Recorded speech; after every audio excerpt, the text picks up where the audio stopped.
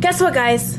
What? I pulled Corine out of retirement. She's come back to make another video with Dun, us. dun, dun. Yeah, we missed her so very much, right? Oh, I missed you too. Uh-huh. Um, so I brought her back because we never actually made a video about the spinal cord because I don't know why. I don't know why. honestly have no idea why. I just never got that far. So we are looking currently at the spinal cord, um, and right now the dorsal part of the the spinal cord is yeah on this side, and then the ventral or anterior side is going to be closer to the bottom of your screen.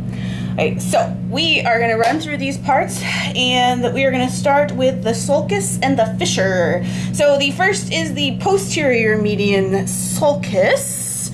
Ray. Now remember, we also use dorsal in place of the uh, posterior term. So either one of those could show up, and either one of them would be valid as an answer on a lab exam. For Yes. example.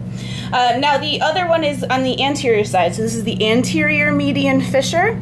The anterior median fissure. Now the central canal is going to run right down the center, and this will be filled with cerebrospinal fluid that's coming down from the ventricles of the brain. Now let's look at the gray matter. Now if you notice, we have a beautiful butterfly. A beautiful gray butterfly. Isn't it pretty? It's beautiful. Um, it is gray matter. So remember, this is unmyelinated pieces of the nervous system, most neurons and unmyelinated matter. Um, so this is going to get broken up into three pieces. So again, we used anterior, posterior, and then lateral. So the anterior gray horns, the posterior gray horns, and then the lateral gray horns. So again, associated to once you figure out front and back, you're good. Also remember that dorsal and ventral can be used occasionally when you look at things in other textbooks. Now let's look at the white matter, which White. surrounds the butterfly. All around. And now, so this is going to be myelinated matter, which means some faster speed to send signals up and down.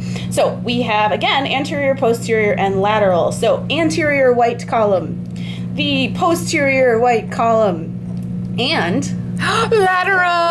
lateral Yay. white column. Yes, so if these maybe this is why we never filmed it It's really very, very because exciting. it was like okay, anterior, posterior, yeah, we got it. front, back, side, front, right, back, side, front, front, back, back, side. Um, so then the other thing that you can see coming off of this spinal cord is actually going to be part of our peripheral nervous system, are the spinal nerves. So the roots of the spinal nerves are coming off and then heading out of the spinal column to the rest of the body with information and then collecting information.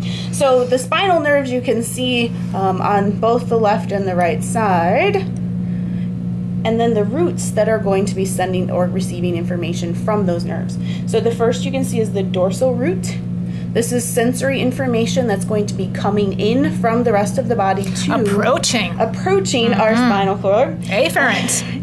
And then the dorsal root ganglion, which is going to be the big Gang. It's a gang of cells. Yo, yo, ganglion. Yo, yo, ganglion. Corine always tells me this is the gang, Gang. the Yo. gang of cells. So Yo. Synapses, cell bodies, dendrites. This is going to be where the communication kind of shifts from the peripheral nervous system into the central nervous system. It's funny. You're Uh, all That's laughing. right, and you'll remember. Yes. Uh, and then on the other side, the anterior, um, the ventral root is going to be motor signals that are being sent from the spinal cord out to the peripheral nervous system to change things. Right? That's our efferent exiting information. Exiting, entering, exiting, entering. Right? Right? Or approaching, exiting. However you want to think about this. I think we got it. I think so too. Yay.